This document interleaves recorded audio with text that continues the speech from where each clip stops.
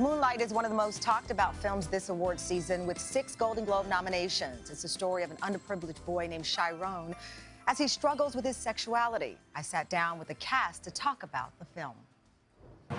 What happened, Chiron? Why you didn't come home like you're supposed to? Huh? And who is you?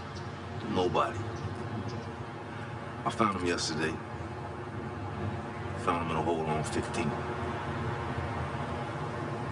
Yeah, that one. Some boys chased him in the cut.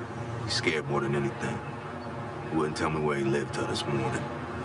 With me now, Naomie Harris, who plays Chiron's mother. Mahershala Ali plays the part of Juan, a drug dealer who also happens to be Chiron's male role model. Trevante Rhodes plays the adult Chiron, and Barry Jenkins is Moonlight's writer-director. Good morning to you, cast. Oh my goodness, this is the most beautiful cast. I'm just gonna get that out of the way now. Let me get my crushes out. Um, Barry, this is, I left shaking. And then I had to look you up and Google and where could this have come from? What's the backstory? How did you create what's being called a masterpiece? Uh, so uh, Tarell McCraney, uh, the playwright, uh, wrote this piece called "In Moonlight, Black Boys Look Blue" uh, back in 2003. And when it came to me, it was like a baton was passed.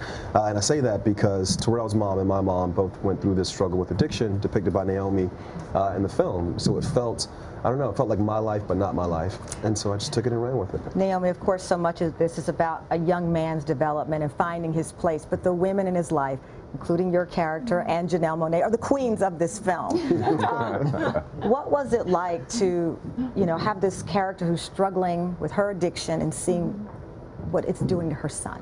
It was really tough to play, you know, it was really, um, really difficult to be so brutal sometimes to, you know, the, the actors who are absolutely gorgeous, like young Alex Hibbert, only 11 years old in the film and such a brilliant performer, and having to do scenes where I'm shouting at him and I'm, I'm really being not a great mother at all was, you know, it was really tough. Yeah, and yeah. Trevante, it's amazing. Um, I've never seen anything like this. I've never seen a depiction of a young black male yeah. in this way. What was that like for you to present a character that, if you've ever been to a neighborhood, you know this guy, mm. but he's never been on film?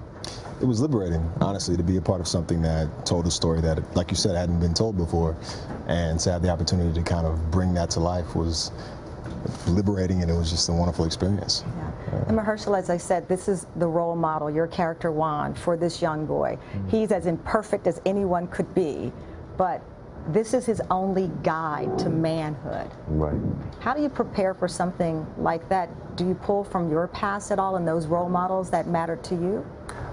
I think I did on the day find myself pulling from my past and, and those who I grew up in close proximity to who resembled Juan in some ways. Um, but I, in preparation for this, I really focused on those the many beautiful qualities that that Juan has. Just he has some really wonderful attributes that I aspire to have right now in my life. Well, as I said, around the board, people are calling it a masterpiece. I don't want to jinx you, but have you picked out your Oscars outfits yet? That's what's important. You know that's what's important. coordinate. That's my like, huge cast. Coordinate. Okay. Moonlight is in theaters now. We're back in a moment. This is Today on NBC. Hello, Today fans. Thanks for checking out our YouTube channel. Subscribe by clicking that button down there and click on any of the videos over here to watch the latest interviews, show highlights, and digital exclusives.